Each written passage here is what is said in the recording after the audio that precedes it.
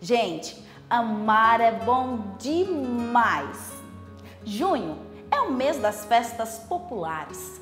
Acho que é um mês especial para o amor. Gosto de junho porque tem festa de São João, São Pedro e Santo Antônio. Tem quadrilha e baião. O tempo feliz do Dia dos Namorados. Tem flores, lembranças, carinho.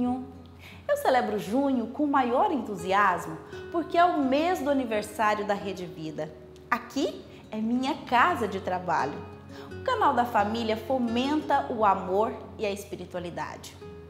Vou até contar por que é o mês mais lindo.